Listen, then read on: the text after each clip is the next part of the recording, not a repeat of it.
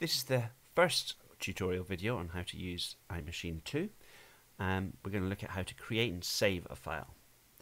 What we're going to do when we open it up, we're going to open up somebody else's work. It's whatever file was open last on it. So we need to make sure that we don't touch it and that we go on to create our own file.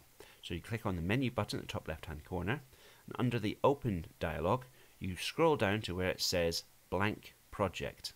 Click on blank project and it'll ask you whether you want to save what was open beforehand. Just press discard. Whoever had it last should have saved it themselves. Okay, this is your blank project. What we now need to do is change a couple of things. First thing is the name. So where it says the name blank project at the top, you need to put your name.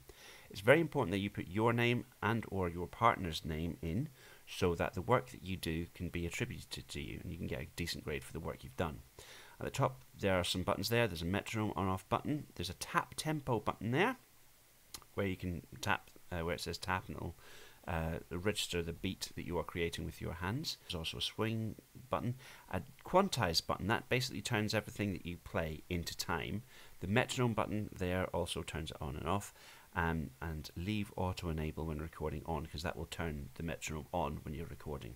Okay, so now we need to check that it is all saved correctly. So if you click on menu and you open just a random file, if you click on uh, the NI tab at the top there and just open one of the presets and then close the whole thing down.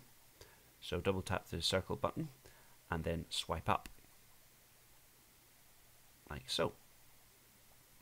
Okay, we're going to reopen iMaschine. It does take a little while to load this because it's quite a big program, quite a powerful program, and we will look at some of the more advanced features in future videos um, and indeed in your lessons. Okay, and so it should be loaded now. There we go. Right, so what we're going to do is we're going to find our file. So you go to the menu button again, click on open, and then you click on the little head, not the NI tab, but the head. That's the your own work, and then you open up your own file. Okay, and that is how to create and save your file on iMaschine.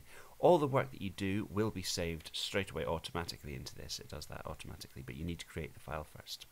Thank you.